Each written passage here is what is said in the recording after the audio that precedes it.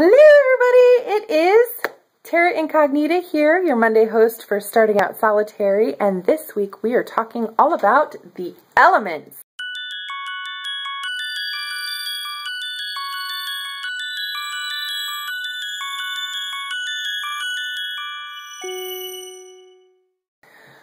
Okay, the elements is a really, really, really broad topic, and I do not want this video to take all day. So, um, what I've kind of decided to do is break it up.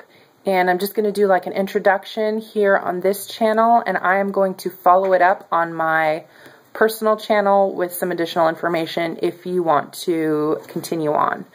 Um, but basically, what I decided to do is to approach this from a very basic level. This is a new channel for new witches and, um, you know, or even seasoned witches who kind of want to take it back to the beginning, you know what I mean? Um, and I always think it's good in anything to revisit the basics because it's easy to forget. You get so into what you're doing um, and get, you know, as you advance in your practice, it is easy to forget the simple things that you started with. So, um, when we're talking about the elements, we are talking about, well, we can be talking about, I like to think about it this way, the witch's pyramid. So that's what I mean when I say we're starting at the basics. I'm taking all the way back to the main principles of being a witch. Um, now this book, I'm sure you recognize, is called The Inner Temple of Witchcraft by Christopher Penczak. Um, I started reading this book in the beginning of my practice, and I put it down. Uh, the reason for that is that I got overwhelmed. I was trying to turn it into a year and a day study, and it was a very unnatural pace. And with all the other things that I was learning about, reading, watching online, it just I lost interest in this. It overwhelmed me. It was going at a weird pace. I didn't like it. I put it down. I never picked it up again. And in the last few months, I've had a handful of people talk to me, message me on YouTube and Facebook and say, hey, have you read this? Hey, did you finish this? Hey, what did you think about this? Etc. Etc. And um, most recently was our new subscriber, Jana Lynn. Hi, Jana Lynn! And so, yes, I'm reading it now. Um, but I just kind of I took it to mean that Spirit was calling to me to pick this book up again, so I did. I started this weekend and I'm already through chapter four. Um, not trying to split it up into a year and a day. I am just going to go at a pace that feels natural to me and get through it. So I may do some videos of this on my personal channel. I don't know. But, you know, yesterday while I was reading, I came across that pyramid and decided that this is the way that I want to approach the topic of the elements. So when you think about um, the principles of the being a witch, the four main pillars, they call it, it is to know, to dare, to will, to keep silent, and then the fifth element some people call to go. In this book, um, Christopher Penczak refers to it as the Wiccan Rede or um, and it harm none, do as you will. That's what he says is the point of the pyramid. But basically, when you have all four elements um, all four pieces working together, then it's going to connect with the higher spirit and what you want to manifest will. And um,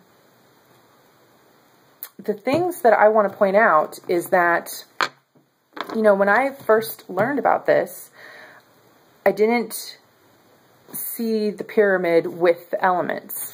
It was just the principles, the four principles of being um, a witch and it was in a it was online or in a different book or something. I don't even remember.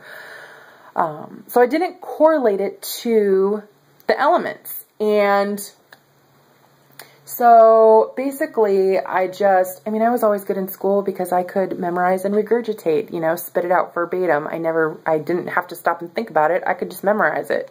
So when I was first learning all this material and taking it all in, it was the same thing. Um, memorize it, spit it back out kind of thing uh, I never really stopped to consider. And then probably, I don't know, four or six months into my path, I saw it with the elements. Um, it may have been in this book, it might have been in another book, but I really, it caught my attention. Um, and I noticed it more and I thought about it more and it made more sense to me. Um, because the elements, I do think of myself as an elemental witch. I incorporate it into, you know, my spells, into my practice. When I think about things, I think about them in an elemental way. When I do spells, I incorporate the elemental correspondences. Um, and I have not done a deeper study of the elements. I did sign up for Season of the Seeker, but I had to drop it because of life stuff. But it seems like a good class, and if you're interested in an in-depth study, that would be one I would recommend. Uh, because Annie from Mirth and Reverence, she knows her stuff when it comes to the elements. But um, I do consider myself an elemental witch. And so it did. It caught my attention more when it started to correlate to that. But then it wasn't until maybe a year later that I noticed that the diagrams were different. So if you Google the Witch's Pyramid and you look at different pictures of it, they will assign the elements to different principles. Like the two, two different pyramids won't match. Um, and you can even, if you have it, if you have the diagram in books on your shelf, pull down three books that have the Witch's Pyramid and look at them. They probably don't match. And um, I attribute part of that to the fact that people take the principles at face value and they don't dig deeper. Um, like if you read this book, um, The Book of Shadows for the Solitary Witch by Silver Ravenwolf, there's a diagram in here and she takes it very face value. And some of the things she says um, kind of irk me and other things she does resonate with me. Um, but it seems to me that she takes that pyramid very much at face value, whereas um, in this book it seems to to hit a deeper chord. And when I think about it, I kind of resonate with the diagram in this book more, the way they assign the elements to the um, main principles. And so, um, you know, it really you have to look at them and you have to challenge yourself to decide what is right for you. And even with the tarot, when you think about, oops, that's upside down. So you have earth, which is the pentacles, air, which is the swords, wands, which is fire, and cups, which is water. I had a hard time, if you've watched my divination videos, I didn't understand how fire could be wands and air could be swords. It seemed wrong to me. Um, but when I think about the witch's pyramid and the way that I assign the elements to the principles of the witch's pyramid, it really helped me correlate the fire with the wands and the air with the swords.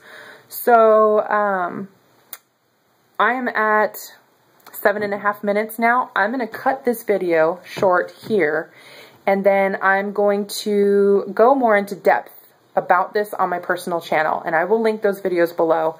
Um, but, you know, you can either take this information from here and go on your own and kind of research it yourself, or you can hit my personal channel and um, I'll break it up because I don't want you to have to sit through a half hour long video. Anyway, I hope that gives you a different way of looking at it and a different starting point to kind of go from. And definitely watch the rest of the week because I know everybody's going to have a different opinion. And I do know there's a couple people on this channel that did the season of the Seeker program or are doing it. And so they'll probably have um, more information for you. But I hope to see you over on my personal channel. Otherwise, I hope to see you next Monday back here. And um, yeah, if you have something to say, if you have an opinion, be sure to go to our Facebook page or comment below. If you have questions, ask them because this is a broad topic and I'm sure we can get some really good conversations going. Anyway, blessed be.